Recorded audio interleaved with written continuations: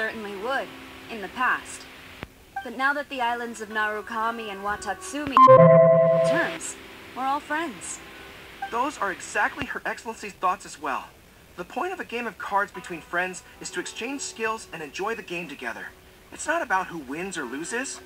She hopes that this spirit of friendly competition will define Inazuma going forward. Hmm. A commendable attitude. Her opponent is skilled in the art of deception. Even if she appears to have worry written all over her face, don't fall for it. She's likely trying to lead you into a